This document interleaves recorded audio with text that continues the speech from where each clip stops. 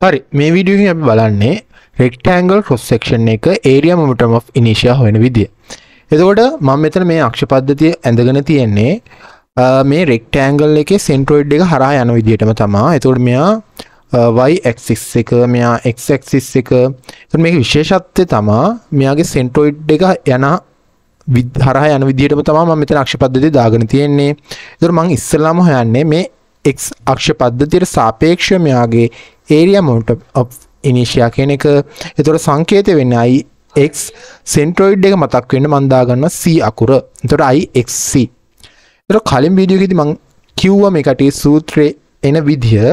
එතකොට ගන්න තියෙනවාට ඊට කලින් මම මේ රෙක්ටෑන්ගල් එකේ දිගයි පල්ල දාගන්නකො මෙයාගේ දිග මං ගන්නවා සිම්පල් B අකුර අ, අ, පළල අ, ගන්න සිම්පල් H අකුර හරිනේ එතකොට මේකේ විදිහට මෙයාගේ second moment of area හොයන සූත්‍රය වෙන්නේ y වර්ග අනුකලනය කරන්න dA විශයෙන් හරිනේ? එතකොට මේ වෙලාවේ මං මෙයාගේ පොඩි මෙන්න මේ වගේ තීරුවක් තෝරගන්නවා. අ, මේ XC කියන අක්ෂයේ ඉඳලා සිම්පල් y දුරකින්.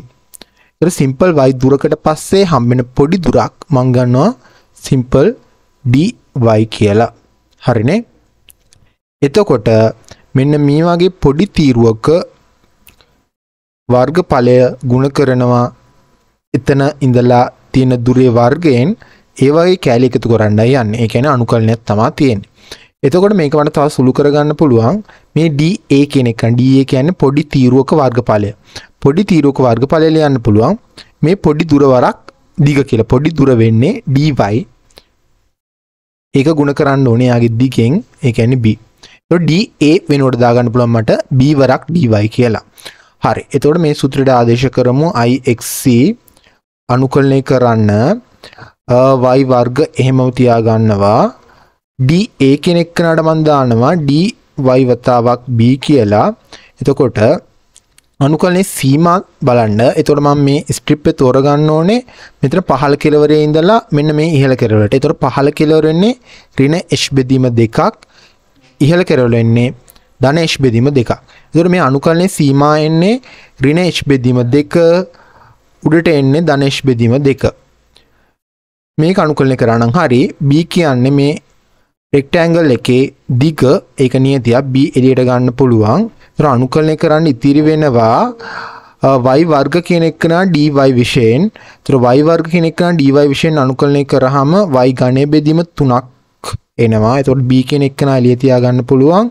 මෙතන ලියන්න වෙන්නේ මට අ, y y ඝනය බෙදීම තුන සීමා විදිහට දාන්න වෙන්නේ අ, ඍණ h බෙදීම දෙකේ ඉඳලා ධන h බෙදීම දෙක වෙනකම්.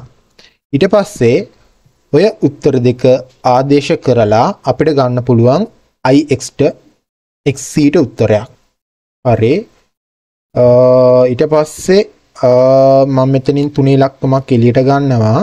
ඉහළ සීමාව දාගමු. එතකොට h ඝනය බෙදීම 8ක් එනවා.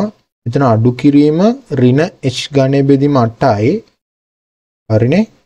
එතන මේක සුළු කරාම එනවා 12න් එකක් BH ඝනය කියලා IXC වලට.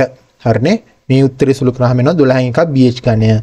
මේ ගත්තේ රෙක්ටෑන්ගල් එකක x ඒ කියන්නේ සෙන්ට්‍රොයිඩ් එක හරහා යන x අක්ෂයේ ඉඳලා වටා second moment of inertia කියන එක. එතකොට IXC මට ලියන්න පුළුවන් 12න් එකයි BH ගණය කියලා.